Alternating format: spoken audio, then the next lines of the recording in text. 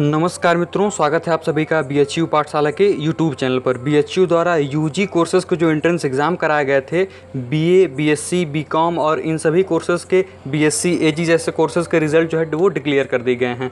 देखिए, आप सबसे पहले वेबसाइट पर विज़िट करेंगे B H U online dot in पर जैसे ही वेबसाइट को स्क्रोल डाउन करेंगे आप, यहाँ पर theory result U T two पे आप क्लिक करेंगे और जैसे ही आप इस लिंक पे क्लिक करेंगे, आपको एक नया पेज खुलकर आएगा जहाँ पे आपको अपना रोल नंबर डालना होगा और उसके बाद अपना डेट ऑफ़ बर्थ डालना होगा। उसके बाद आप अपने रिज़ल्ट को देख पाएँगे। देखिए, उसके बाद मैं आपको दिखा रहा हूँ यहाँ स्क्रीन पे। आप जैसे ही अपने डेट ऑफ़ बर्थ को डालेंगे, आप रिज़ल्ट को स्क्रीन पे देख पा रहे होंगे। अगर जिन भी लोगों का रिज़ल्ट नहीं शो कर रहा है तो आपको बिल्कुल भी घबराने की ज़रूरत नहीं है, क्योंकि ये रिज़ल्ट जो है, आप एक महीने तक देख पाएँगे। ऐसा नहीं है कि अगर अभी वेबसाइट पे नहीं दिख पा रहा है तो ये आपको रिज़ल्ट जो है, आपके वेबसाइट से हट जाएगा। ऐसा बिल्कुल भी नहीं है। तो आपको बिल्कुल भी घबराने की ज़रूरत नहीं है। ये रहा रिज़ल्ट, आप देख पा रहे हैं।